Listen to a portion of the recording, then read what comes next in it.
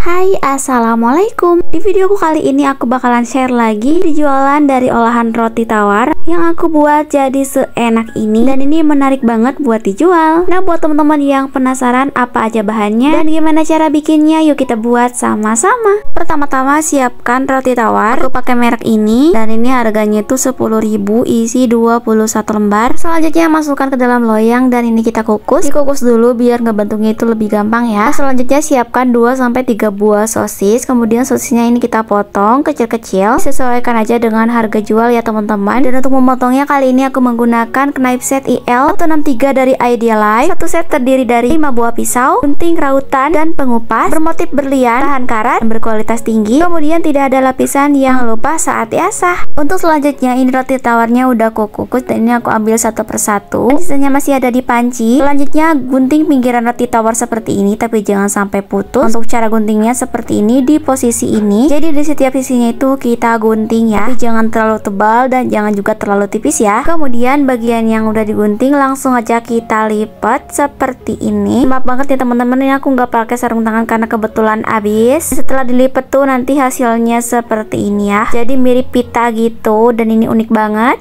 Dan kalau semisal rotinya itu nggak dikukus dia tuh bakalan belah-belah gitu ya. Kecuali pakainya itu roti yang harganya agak mahal mungkin itu nggak perlu dikukus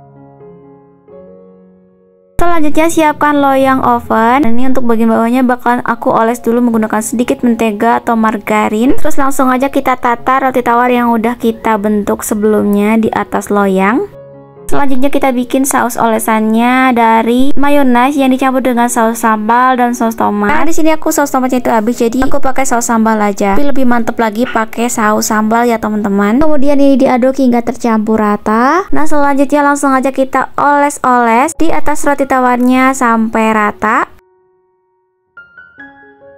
Selanjutnya masukkan potongan sosis di setiap sudut pinggiran seperti ini. Satu roti tawar kita kasih 4 potong sosis. Next kita tambahkan keju parut. Kalau di sini aku pakai quick melt ya teman-teman. Secukupnya aja ditabur di atasnya seperti ini. Terus biar makin menarik lagi kita tambah-tambahkan mayonnaise dan juga saus sambal. Terus aku juga kasih oregano karena ada. Kalau nggak ada bisa di skip aja.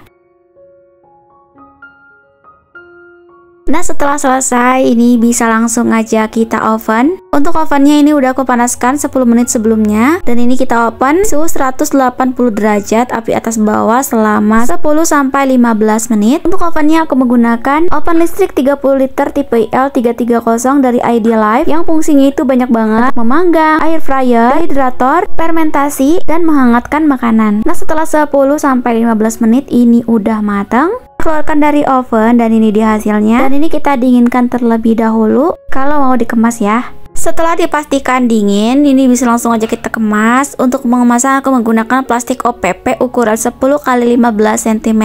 Nah, jadi kali ini tuh aku bikin ide jualan pizza roti tawar dan ini bisa langsung aja kita masukkan. Dan ini dia hasilnya ya teman-teman. Dikemas tuh biar si pizza roti tawarnya itu nggak kering, lembab dan tetap empuk. Terus biar jauh dari debu ya. Yuk langsung aja kita cobain. Ini dia tampilannya seperti ini. Dan untuk rasanya asli ini enak banget. Roti tawar dibikin bikin kayak gini rasanya tuh enak mirip kayak bisa-bisa gitu tapi versi KW nya ini cocok banget dijual buat anak-anak di sekolahan pasti suka karena ini unik terus rasanya juga enak atau bisa dijadikan juga sebagai ide bekal buat anak-anak. Nah oke teman-teman sekian dulu video untuk hari ini. Semoga video ini bermanfaat dan menginspirasi teman-teman semuanya. Sampai jumpa di video aku selanjutnya. Wassalamualaikum warahmatullahi wabarakatuh